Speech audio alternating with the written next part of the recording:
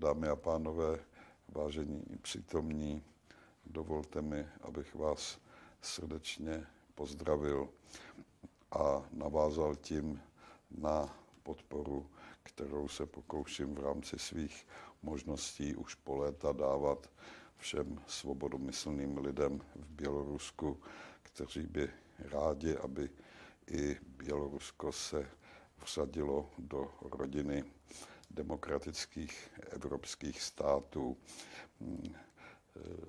Kam bude Bělorusko patřit a jaký bude mít, jaký bude mít politický systém, záleží samozřejmě na občanech Běloruska především.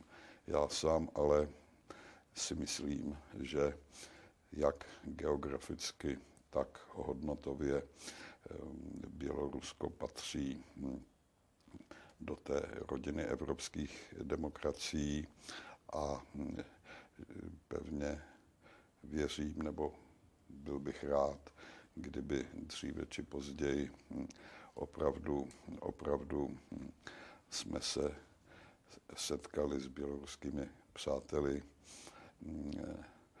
na půdě Evropské unie.